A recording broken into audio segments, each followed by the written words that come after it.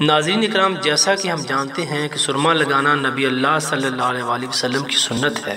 اس لیے آپ سے گزارش ہے کہ جب بھی سرما لگائیں، اسے سنت کی نیت سے لگائیں، اس کے دو فائدے ہوں گے۔ ایک تو آپ کی آنکھوں کو سکون ملے گا، دوسرا اس کے ساتھ ساتھ آپ کو سواب بھی ملتا رہے گا۔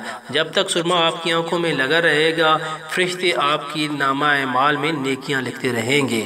اس لیے جب بھی آپ سرما لگائیں، اپنے دل میں نیت کر لیں یا منہ سے یہ دعا دیں کہ میں یہ عمل اس لیے کر رہا ہوں کہ یہ عمل نبی پاک صلی اللہ علیہ وآلہ وسلم نے کیا۔ آپ دیکھیں گے کہ اللہ تعالیٰ اس طرح آپ کی زندگی میں، آپ کے کاموں میں، آپ کے بزنس میں برکت ڈالے گا۔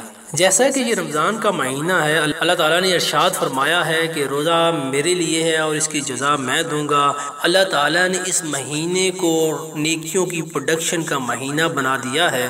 آپ اس مہینے میں ایک نیکی کریں، اللہ تعالیٰ ستر نیکیوں کا ثواب دے گا۔ آپ اس مہینے میں ستر روپیہ صدقہ کریں، اللہ تعالیٰ آپ کو سات سو روپیوں کا اجر دیں گے یا اس سے بھی زیادہ دیں گے۔ یہ سب آپ کی نیت پہ ڈپینڈ کرتا ہے۔ اس لیے علماء کرام کہتے ہیں کہ رمضان کے اندر آپ زیادہ سے زیادہ نیکیاں کریں۔ قیام اللائل کریں، تراویح پڑھیں، تہجد پڑھیں، اپنی نمازوں کو ریگولر کریں، نوافل نمازیں پڑھیں، قرآن پاک کی تلاوت کریں، اس کے ساتھ ساتھ اللہ تعالیٰ سے مغفرت مانگتے رہیں، اللہ تعالیٰ کی حضور کی گڑھا کر روئیں، تاکہ اللہ تعالیٰ آپ کے اوپر کرم و فضل کرے۔ ناظرین اکرام، یہ ایک چھوٹا سا مسئلہ ہر گھر کا مسئلہ ہے کہ سرما لگانے سے روزہ ٹوٹتا ہے کہ نہیں؟ اس مسئلہ پر بات کرنے کے لیے ہمارے پاس ایک واضح حدیث موجود ہے۔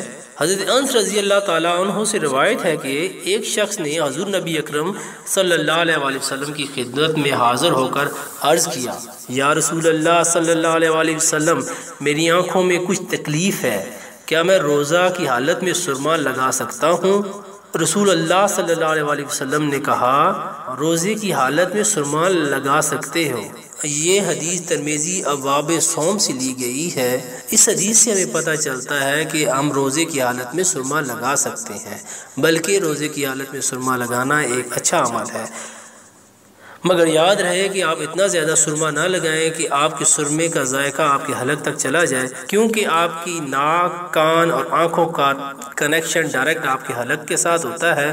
اگر آپ ناک، کان یا آنکھوں یا کانوں میں کوئی چیز آپ ڈالتے ہیں تو وہ چیز کسی نہ کسی طرح پروسیس ہو کے آپ کے حلق تک پہنچ جاتی ہے۔ سرما اس مقدار میں یوز کریں کہ آپ کے حلق تک نہ پہنچے۔ ایک نیک کام ہے۔ جیسا کہ حدیث میں آیا کہ نبی صلی اللہ علیہ وسلم نے خود اجازت دی کہ روزے کی حالت میں آپ سرما لگا سکتے ہیں۔ ناظرین، یہ تھی ہماری آج کی چھوٹی سی ویڈیو۔ امید ہے کہ آپ کو اس سے بہت فائدہ ہوگا اپنے روزوں کو بہتر کرنے میں۔ اس کے علاوہ آپ سے ہمیشہ کی طرح گزارش کروں گا کہ آپ انٹرنیٹ پر اسلام سے ریلیٹڈ کوئی بھی معلومات جب پڑھیں، دیکھیں یا سنیں، اس کو بغیر تصدیق کیے آگے شیئر مت کریں، نہ ہی اس پر خود عمل کریں۔ تصدیق سے مراد یہ ہے کہ آپ اس کانٹینٹ چاہے وہ ویڈیو ہے، چاہے وہ ٹیکس فارم میں لکھا ہوا ہے یا وہ آڈیو فارم میں ہے، اس کا تعلق حدیث سے ہے۔ اس کا تعلق قرآن سے ہے، اس کا تعلق صحابہ اکرام یا اہل بیت کی زندگی سے ہے۔ اگر ایسا ہے تو آپ اس پر عمل کر سکتے ہیں، اور اگر ایسا نہیں ہے تو آپ اس پر عمل نہ کریں۔ ہو سکتا ہے کہ کسی نے کوئی جھوٹی حدیث شیئر کی ہو اور آپ غلطی سے وہ جھوٹی حدیث آگے بھیج دیں۔ یاد رکھیں کہ جھوٹی حدیث بنانا اور اس سے پھیلانا گناہ کبیرہ ہے اور شریعت محمدی صلی اللہ علیہ وسلم میں اس کی سخت ترین سزا ہے۔